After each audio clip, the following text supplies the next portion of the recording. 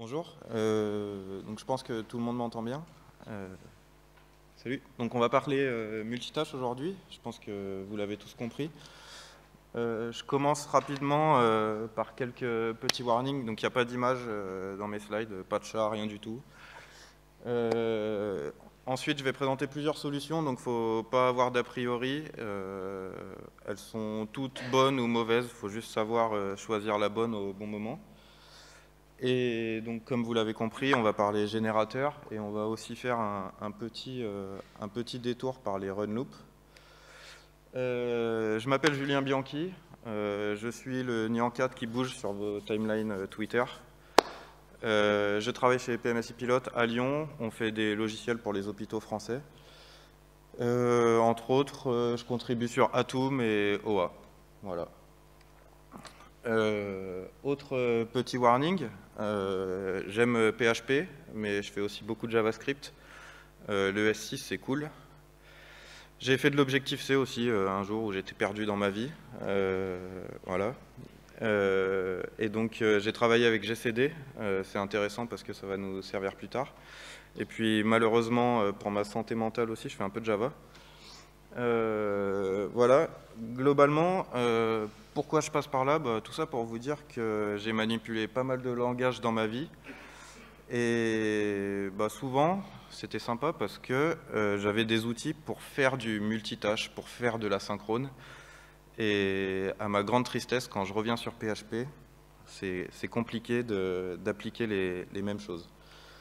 Euh, donc le, multitâche, globalement, euh, on va distinguer à peu près euh, deux types de, manières de faire. Donc il va y avoir les, traitements parallèles.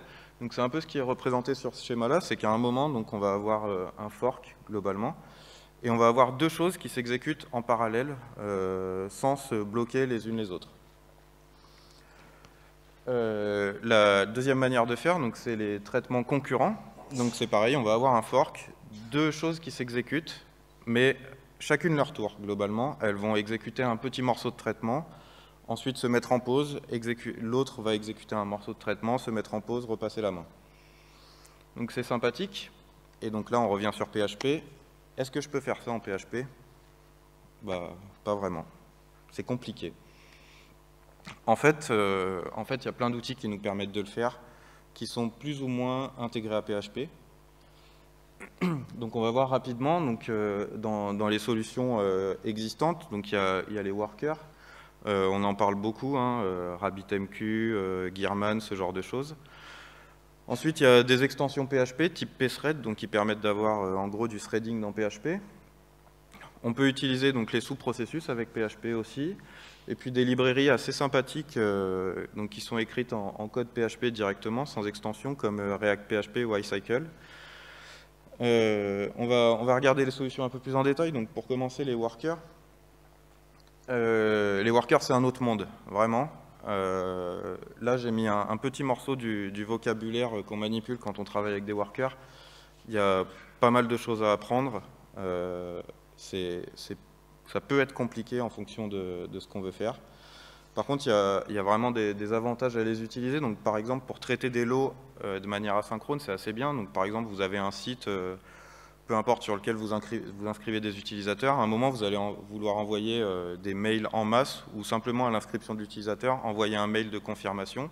Ce genre de choses, c'est très facile de le déléguer à un worker. voilà, on lui demande d'envoyer le mail, c'est asynchrone, il va envoyer le mail à un moment et on n'a pas à s'en soucier. Donc c'est très adapté pour des actions que j'appelle finales. Donc voilà, j'envoie un mail et puis euh, terminé, j'en ai plus rien à faire. Tant que j'ai pas de retour de l'utilisateur, j'ai pas besoin de vérifier ce qui se passe. Euh, l'autre chose qui est pas mal, c'est que donc les workers, ça scale très bien. On peut booter 10 euh, workers d'un coup, exécuter des tâches en parallèle. C'est super pratique pour ça. Et donc on répartit la charge sur éventuellement plusieurs machines. Donc c'est vraiment, vraiment très, très pratique. Le souci dans tout ça, c'est que ça demande de mettre en place une infrastructure qui peut être assez lourde. Euh, ensuite, si on souhaite partager des infos avec le process qui déclenche les, workers, qui déclenche les tâches, ça devient compliqué. Il va falloir sérialiser du contexte, l'envoyer au worker. Euh, voilà, en fonction de ce qu'on veut partager, ça peut être compliqué. Ensuite, on communique à travers le réseau, donc avec tous les problèmes que ça peut, que ça peut engendrer.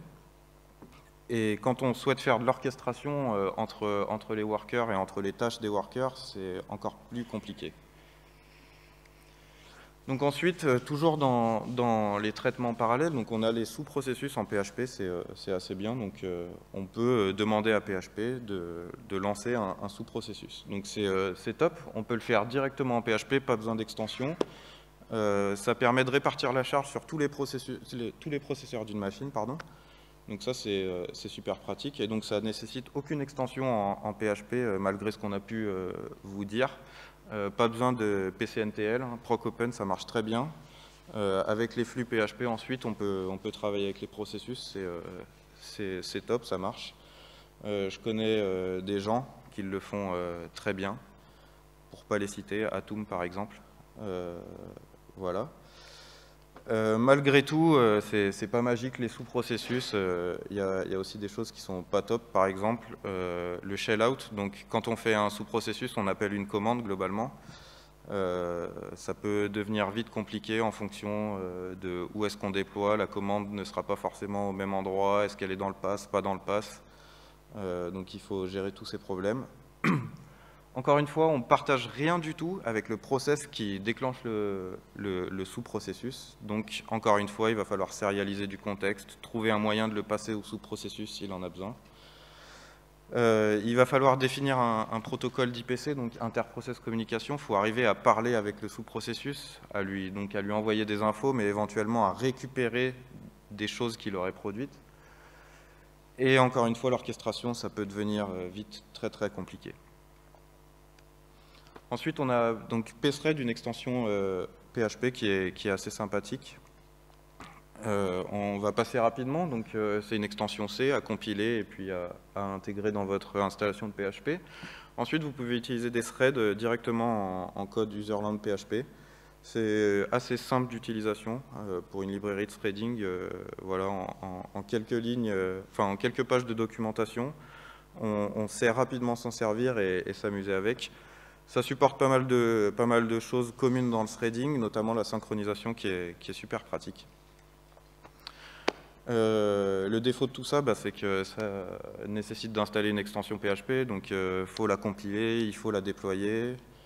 Euh, voilà, on n'a peut-être pas envie de faire tout ça. Ensuite, dans certains cas, donc, les, les, threads vont serialiser le contexte. Euh, donc pour partager des, informations. Et on sait tous qu'en PHP, il y a des choses qui ne sont pas sérialisables, par exemple les fonctions anonymes. Donc il faut faire gaffe à, ce qu'on veut partager. Et le, gros point faible, je dirais, de, cette librairie, c'est que finalement, il y a peu de ressources et peu de librairies qui l'utilisent. Donc quand on, quand on veut s'en servir, malheureusement, on est parfois en manque d'exemples. Ensuite, dans les trucs un peu plus fun, euh, donc on va arriver sur React PHP. Donc là, pour le coup, c'est une librairie totalement écrite en PHP.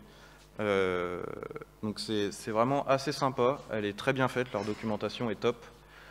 Euh, donc c'est full PHP, c'est très simple d'utilisation. En deux minutes avec Composer, on est capable d'utiliser React PHP. Ça implémente une vraie run loop. Alors vrai, entre guillemets, c'est compliqué. Mais euh, voilà, pour ceux qui connaissent un peu euh, JavaScript, on est dans, le même type de fonctionnement. Et ensuite, donc euh, React PHP, c'est le cœur de, de, la chose. Et il y a plein de petites librairies qui viennent se greffer, donc pour faire des promesses, pour faire du HTTP, ce genre de choses, des flux ou quoi. Donc pour ceux qui ne savent pas comment fonctionne une run loop, en gros c'est ça. Donc je vais, vais avoir une pile de, traitements à exécuter. donc c'est première entrée, première sortie globalement. Donc là, j'ai deux fonctions. Euh, la première donc, qui va me renvoyer euh, hello au bout de 5 secondes et la seconde qui va me renvoyer world au bout de 2 secondes.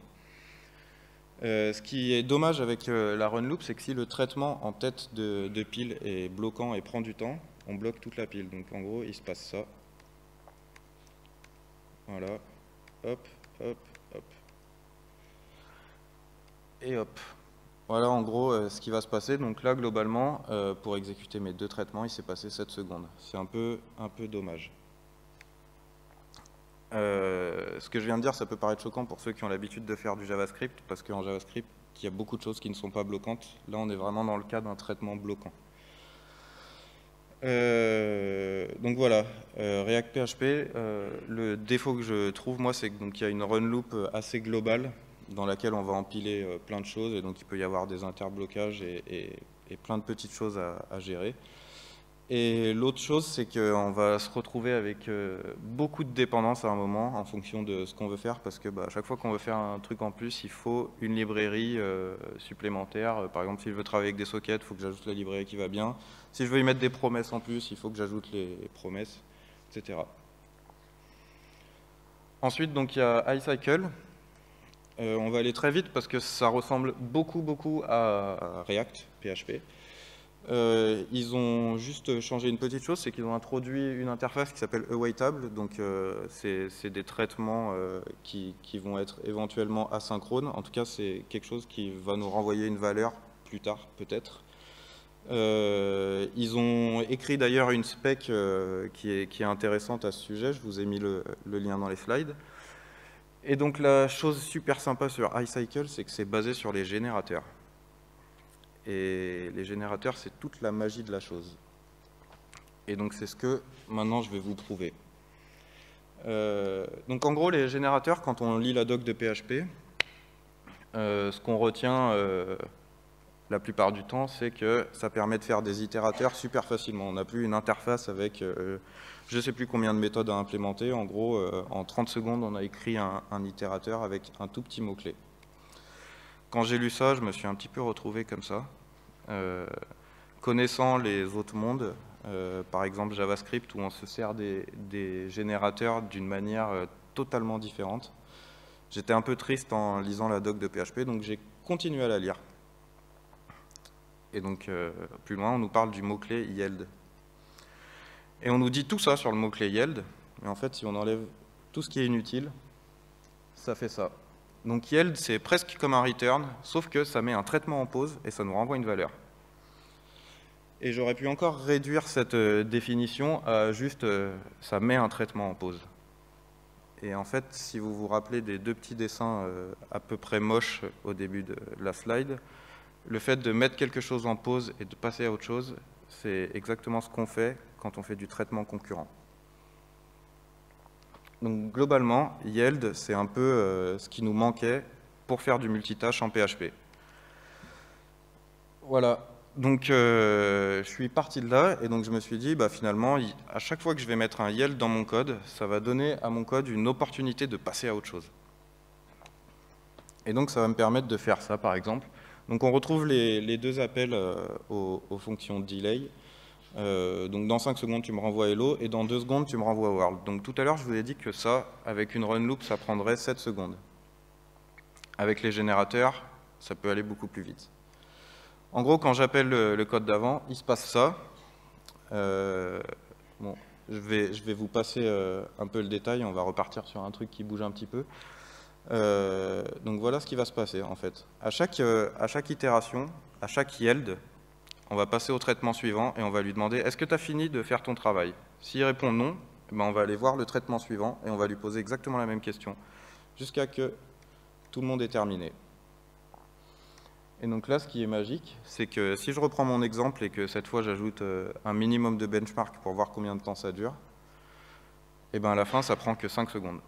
Pour autant, j'ai des traitements qui ont attendu 5 et 2 secondes, mais les temps ne s'additionnent pas. En gros, on mutualise le temps de pause de chaque traitement et on passe à autre chose systématiquement quand on n'a rien à faire. Et donc c'est le temps du traitement le plus long qui va définir la durée de la tâche globale. Ensuite, euh, donc en, PHP, euh, ce, qui est, super cool, c'est qu'on a, euh, certaines notions d'entrée-sortie asynchrone. Euh, avec la fonction qui s'appelle stream select. Donc c'est une fonction qui est, vraiment très magique. Si vous l'avez jamais utilisée, je vous encourage à, aller lire la doc et à regarder. Parce que euh, dans le monde de JavaScript, par exemple, ils friment en disant euh, nous on est trop fort, on fait des IO asynchrones dans tous les sens, c'est la fête. en PHP, j'ai même pas envie de compter combien d'années ça fait qu'on a cette possibilité, mais ça fait vraiment très très très longtemps. il suffit juste de savoir l'utiliser. Et donc, bah, si on prend cette fonction streamSelect et qu'on lui met le yield, eh ben, on arrive à faire des traitements multitâches asynchrones sur des flux en PHP. Euh, avec euh, très peu d'efforts. Hein. Vous l'avez vu juste avant, la, fonction qui me permet de lire un flux en asynchrone, en, mode non bloquant, elle est, elle est assez simple, elle fait euh, peut-être 10 lignes de code. voilà, donc cette fonction, elle s'applique sur les streams, donc toutes les lectures de fichiers en local, à travers le réseau et à travers les stream wrappers de PHP, donc SSH, FTP, HTTP, peu importe. Et également sur tous les sockets, donc TCP. Euh, euh, c'est vraiment super pratique. Et donc ce qu'on peut faire avec ça, euh, c'est ce genre de choses. Par exemple, je peux lire deux fichiers en parallèle et profiter des temps de blocage sur la lecture pour passer à autre chose. Donc globalement, là je lis mes deux fichiers en local, donc ça va aller super vite et il n'y aura pas de grande différence avec une lecture standard. Par contre, si je commence à aller lire des fichiers sur le réseau à travers SSH ou FTP ou HTTP, éventuellement, je peux être bloqué par le réseau à un moment. Par exemple, sur le fichier D1, à un moment, je vais avoir une latence. Et donc, pendant cette latence, au lieu de rien faire et juste d'attendre, ben, en fait, je vais passer au flux suivant et je vais aller lire D2. Et quand j'aurai un blocage sur D2, je vais passer à D1 encore une fois. Donc, on met vraiment à profit les temps de pause euh, qui seraient perdus normalement en PHP. Ensuite, donc, euh, une fois qu'on a toutes ces bases, on peut imaginer des trucs vraiment sympas. Et là, pour le coup, euh, j'ai pas été original, je suis allé voler ces choses-là dans, JavaScript sur euh, les librairies de promesses, entre autres. On peut faire par exemple du race. Donc, je vais déclencher deux traitements, et puis c'est le premier qui finit qui aura gagné. Donc là, je veux lire deux fichiers à travers le réseau, c'est deux fois la même chose, mais en fait, je veux celui qui répond le plus rapidement, eh ben, je vais récupérer son résultat, et le reste, je vais l'annuler. Ensuite, on peut s'amuser à, combiner encore plus de choses. Donc euh, là, j'ai besoin de lire deux fichiers. Pour chacun de ces fichiers, j'ai deux sources. Donc je vais faire des races sur les deux fichiers et récupérer les deux qui seront les plus rapides. Ensuite, donc, je, me suis, euh, amusé à aller voir ce qui se passait chez, euh, les, autres langages qui savent faire donc, du multitâche, de l'asynchrone et ce genre de choses. Et donc il y a Go, vous en avez certainement entendu parler, qui est, super à la mode en ce moment, qui a quelque chose qui s'appelle les channels, c'est ultra magique pour faire de la communication entre, tâches qui sont, euh, euh, euh, parallélisées. j'ai essayé de reproduire cette chose, j'ai juste changé le nom, ça s'appelle des pipes chez moi. Mais globalement, un pipe, c'est juste une variable dans laquelle je peux pusher des données et aller les récupérer de manière non bloquante. Donc là, dans l'exemple, je vais lire deux fichiers de log et à chaque fois qu'une info arrivera dans un de ces fichiers de log, elle sera insérée dans ce pipe, et ce pipe sera lu indéfiniment donc par la, dernière fonction, et envoyé à travers un socket. Donc je pense que, que, vous voyez exactement euh, là où je veux en venir, mais c'est super pratique euh, pour aller pusher des choses, euh, par exemple dans syslog ou, ou, peu importe, dans n'importe quel agrégateur de log, par exemple. Donc ça, c'est un, petit script qu'on peut lancer assez facilement. Ensuite, euh, je me suis amusé à implémenter euh, tout un, tas de, fonctions donc pour faire des boucles qui, sont euh, non bloquantes. par exemple, je peux faire une boucle jusqu'à ce qu'une condition soit remplie. Je peux spawner des process de manière non bloquante aussi. Donc c'est complètement basé sur les flux, proc open et stream select. voilà, il y, a vraiment tout un tas de choses possibles euh, juste avec des générateurs. C'est euh, là-dessus qu'il faut insister. Euh, donc l'avantage des générateurs, c'est que c'est totalement natif à PHP depuis maintenant plusieurs versions. On a besoin d'installer aucune extension. On prend une distribution standard de PHP, ça fonctionne directement. Ensuite, euh, donc les librairies sont, généralement très légères. Donc euh, iCycle, par exemple, qui utilise les générateurs, est, plutôt légère. Euh, la librairie que j'ai écrite, j'ai poussé encore la chose un peu plus loin, c'est que je me suis passé de toute la couche objet, parce que j'en avais pas besoin, et c'est juste une douzaine de fonctions, globalement. donc c'est encore une fois super léger, il n'y a aucune dépendance. Ensuite, euh, ce que j'ai voulu faire aussi, c'est éviter d'avoir quelque chose de global, comme euh, par exemple la run loop de React, qui est quelque chose d'assez global. Là, euh, dans mon cas, c'est juste la fonction await. Quand on va appeler cette fonction await, ça veut dire qu'on veut paralléliser plusieurs traitements. Et je peux l'appeler plusieurs fois, à plusieurs endroits différents. Il n'y aura jamais d'interblocage entre, entre ces appels. Et dernier avantage, c'est que c'est très adapté pour manipuler tout ce, qui, tout ce qui peut être manipulé sous forme de flux en PHP, donc les fichiers, les sockets et ce genre de choses. Maintenant, euh, les, points faibles de, de ça, c'est qu'on détourne quand même pas mal les générateurs. Et donc finalement, si on veut utiliser des générateurs au milieu de tout ça, on est obligé de, feinter un petit peu, malheureusement. Par exemple, si je veux faire une tâche non bloquante qui me renvoie un générateur à la fin. Avec ma librairie, c'est compliqué, donc il va falloir euh, encapsuler le générateur renvoyé dans, une enveloppe qui, permet de, le sécuriser un petit peu. Euh, ensuite, c'est uniquement adapté pour des traitements locaux. Donc, par exemple, je ne pourrais pas envoyer des mails en lot facilement avec euh, ce genre de choses. ça serait très compliqué de le faire proprement. Un autre point faible, bah, c'est que c'est adapté pour manipuler des flux finalement. Euh, c'est difficilement généralisable à tout en PHP. Euh, après, on peut rendre n'importe quel traitement non bloquant avec, euh, avec, cette méthode. Il suffit de rajouter un yield une ligne sur deux et globalement, le code qu'on écrit devient non bloquant, mais c'est n'importe quoi de faire ça. Donc c'est un petit peu limité voilà, au flux. Et dernière chose, ça fonctionne que sur PHP 7.0 ou supérieur. Voilà, euh, histoire de vous impressionner un petit peu, euh, euh, j'ai sorti quelques chiffres. Donc les chiffres, c'est des chiffres.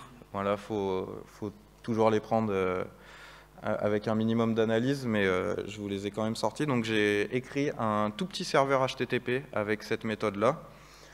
globalement, le serveur reçoit une requête il attend une seconde et il répond. Donc c'est sympa, je le lance, je lance un siège dessus, et je me retrouve à pouvoir traiter presque 132 requêtes secondes, alors que normalement chacune de mes réponses met une seconde à, arriver. Donc ça prouve bien qu'on peut paralléliser plein de choses.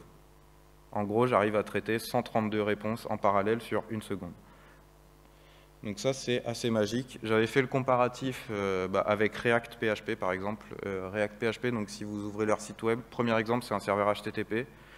Euh, vous mettez un slip dans la fonction qui répond, et puis sur siège, vous tombez à une requête par seconde. Malheureusement, parce que, c'est ce que je vous ai dit, dans la run loop, si le traitement qui est en tête de pile est bloquant pendant un certain temps, ça bloque tout le reste. Et là, c'est ce qu'on essaye d'éviter avec les générateurs. Si vous voulez en savoir plus, ou en tout cas voir euh, d'autres méthodes qui permettent d'arriver au même résultat avec les mêmes outils, je vous encourage à lire cet article de Nikita, euh, qu'il a écrit il y a très longtemps. Euh, je, crois qu'à cette époque, les générateurs n'étaient pas encore arrivés dans PHP, mais c'était juste pour illustrer les, possibilités. donc coopérative, multitasking, c'est vraiment super intéressant. C'est une méthode différente avec un peu d'objets par-dessus. Mais voilà, c'est très très euh, sympa. Ah pardon, je me suis trompé de lien en fait. Le bon lien est là. Euh, et euh, bah, le lien qui est ici, finalement, c'est le dépôt GitHub dans lequel vous retrouverez les sources de tout ce que je vous ai montré. j'ai été méchant, j'ai pas suivi les conseils de Mathieu, donc il n'y a pas encore de README, il n'y a pas encore de fichier pour contribuer. je vais vous écrire ça vraiment très très rapidement. J'espère le faire pour ce soir, comme ça vous pourrez vous amuser un petit peu. Voilà.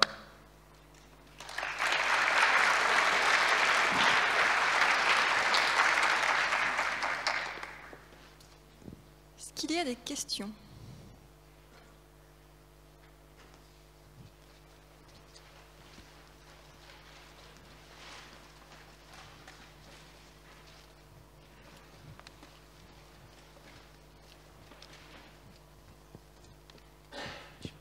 Bonjour, merci. Ma question, moi je dois utiliser React PHP notamment, et je voulais savoir comment tu gères les erreurs en fait dans ta, librairie. Par exemple, j'espère que j'ai retenu le nom de la fonction, c'était await, quelque chose comme ça, pour gérer un truc parallèle.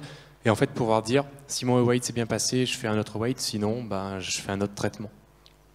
D'accord. Alors, euh, donc ce qui est super pratique avec ça, euh, euh, c'est la définition de la chose. Donc c'est vrai que j'ai pas insisté dessus. Généralement, ce qu'on dit quand on utilise les générateurs pour faire du multitâche ou de l'asynchrone, c'est qu'on dit on va faire de l'asynchrone avec des techniques de code synchrone. Donc finalement, pour gérer tes erreurs, tu fais un try-catch autour du await et ça fonctionne très bien.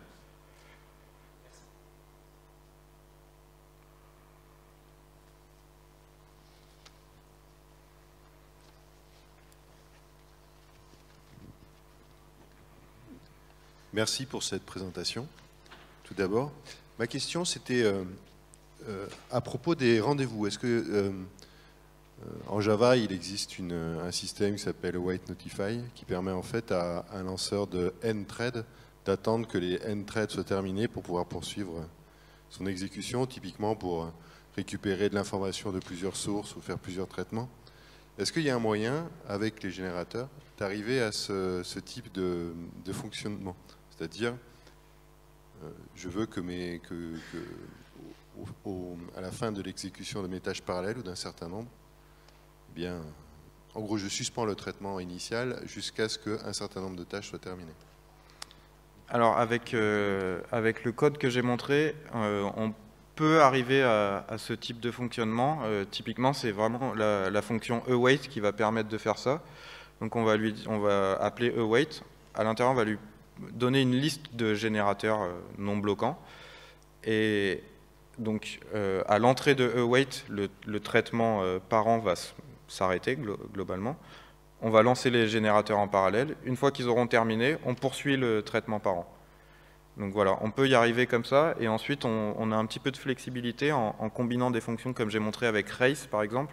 Il y en a d'autres que je ne montre pas dans les exemples, par exemple somme, dans laquelle on va dire euh, je te passe par exemple 5 générateurs euh, non bloquants, mais dès que 3 ont terminé, tu repars sur le traitement par an. Voilà. Et donc le await ensuite retourne les valeurs retournées par tous les générateurs.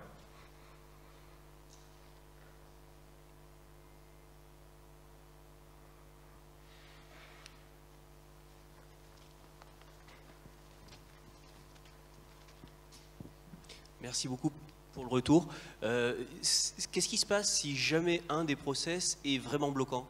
C'est-à-dire est, très lourd en, termes d'usage de, CPU, est-ce qu'il ralentit l'autre? Est-ce qu'il y a des problèmes de ce type-là? Alors, on a exactement les mêmes problèmes que si on n'utilisait pas cette méthode, que si on n'utilisait pas du tout les générateurs. Donc, s'il y a un, traitement qui va être euh, euh, très lourd ou bloquant à un endroit et qu'on n'a pas mis de yield à cet endroit, surtout pour le blocage, le traitement sera dans tous les cas bloquant et donc ça va, bloquer le, fait de pouvoir changer de, tâche. Maintenant, on peut décharger ce traitement en mettant un yield au bon endroit. Par exemple, si on est dans une grosse boucle ou ce genre de choses, on peut dire qu'à chaque itération de la boucle, je mets un yield. Ça permet au système de changer de tâche à ce moment-là pratiquement en fait la concurrence, tu peux gérer la priorité sur la, concurrence de chaque await, de chaque tâche que tu as, que as décalé, c'est ça? Oui, c'est ça. Tu as vraiment la main dessus, justement. C'est en fonction de là où tu vas mettre tes yields, justement. Euh, tu, vas, tu vas permettre au, système de, gérer cette concurrence-là. Donc euh, c'est là où on a pas mal de flexibilité finalement. C'est que si tu, veux que dans ton, code, il y ait trois endroits où on, a, où on, peut changer de tâche, bah, tu mets trois yields aux endroits que tu auras choisis et, euh, et le, la librairie va s'adapter en fonction de ça. Merci.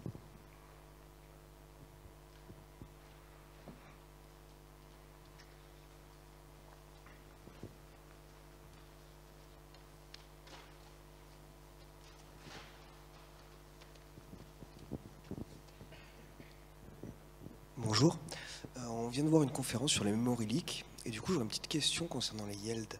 Ça va conserver du coup tout ce qui est en mémoire Ou est-ce que ça va la libérer au fur et à mesure?